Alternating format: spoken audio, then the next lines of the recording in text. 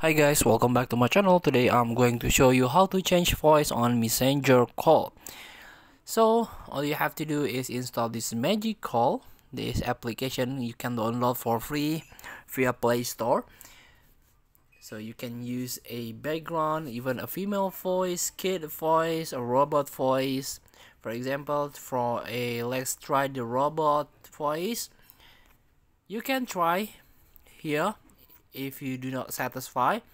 And after that you can call your friend with this a call button. So but if you use a telegram you can download voice mod X telegram a this is the vm gram.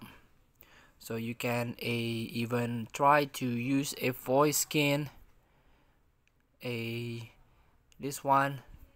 There is a lot feature more than Magic Call, you can download this VM Gram in Call Voice Messenger. So feel free to try. Thank you for watching. Don't forget to comment, like, and subscribe. And also click the button below. See you in the next video.